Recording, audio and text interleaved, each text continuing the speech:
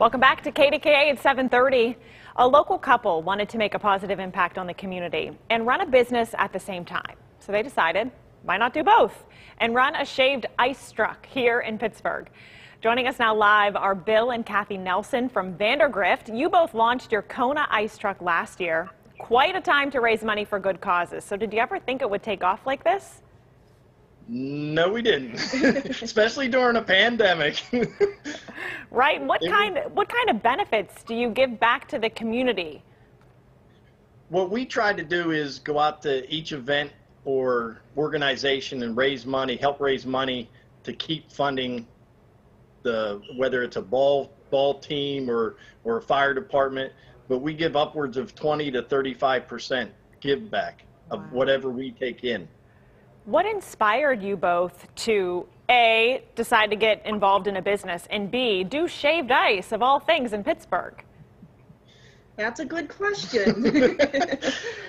Being that we're seasonal, we wanted to provide shaved ice as uh, many months as we can, mm-hmm. um, help the organizations out, love the students, the adults, kids. It took us pardon. It took us uh, probably three years to finally jump into it. I looked at it for at least three years to wow. uh, look and see if it was a good program, a good fit for us, and it was. It truly was. How do you discover new places to go? Driving around a lot. A lot of driving a lot of around. driving around.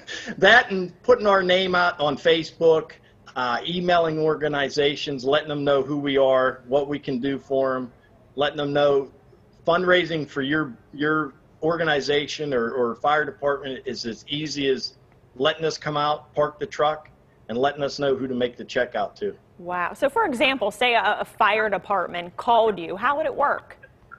Well, it would depend on what they would do. Like we have some local ones around the area that are going to hold food truck rallies, and we'll come out, we'll set up through throughout the day, serve our Konas to everybody who wants one, comes out and buys one, and then we turn around and write them a check for the amount that we give back. Wow. Plus, it's cool because you get to see, for instance, like you're doing the Pause for a Cure baseball invitational in Freeport. You get to see all the cute little kids and yes, talk to the them. the kids are the best. The kids are the best.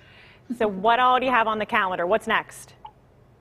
Uh, Butler Area Soccer Association this weekend starting. The first game is Saturday. Um, Banneker Food Truck Rally. Um, Leechburg Food Truck, truck Rally for the fire companies. For the fire nice. companies. Well, you guys will be busy. Yes. You guys will yes. be busy. That's the way to be. It's the only way to be. Yes. That's it. Yes. The busier, the better. Well, thank you both for coming on here tonight to share your, your new endeavor. Best of luck. Thank you. Thank you, thank you for having us.